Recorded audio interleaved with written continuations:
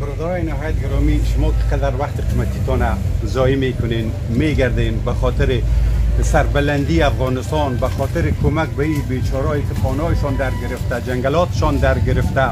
حیوانات یک میلیارد حیوانات که هزار میلیون حیوان میشه کلی سوخته و بسیار حالت فریشانی مردم قرار داره. شما قدر که زحمت می‌کشین که کارهای شخصی خود ماندین و کوچه به کوچه دکان به دکان و هر طرف میگردین کمک می‌کنین کمکار جمع می‌کنین زحمت کشی می‌کنین یک جهان سپاس از شما یک جهان از سپاس از از فامیلای شما.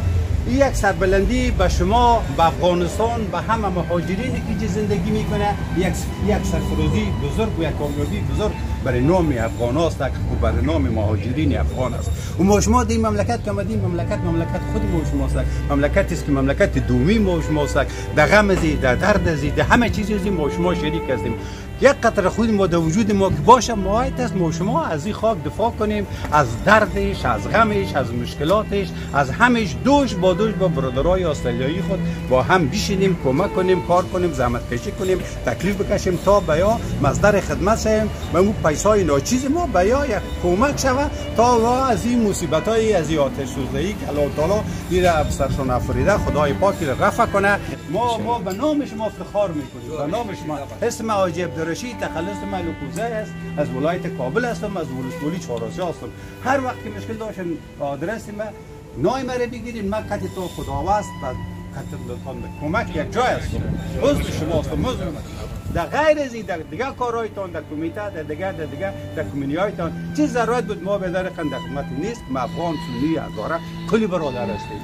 همه ما مسلمان هستیم برادر هستیم عضو یک دیگر هستیم. میگه بنی آدم اعضای یک دیگرن که در که در آفرینش یک جوهرند. چه عضو بدن به درد آورد روزگار دیگر حضورها را نماند قرار. میگه تو که از درد دیگران بیغمی نهایت نشاید که نهایت نامت آدمی.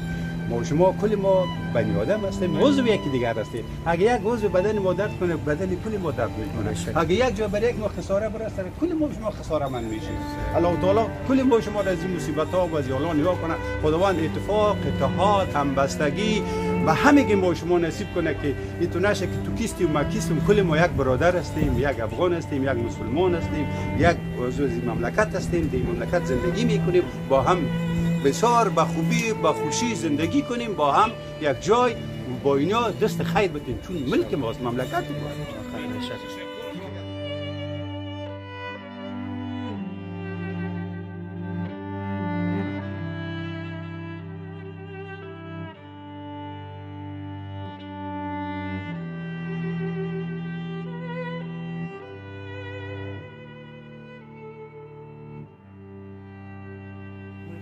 که شما بسیار سپاسگزاریم.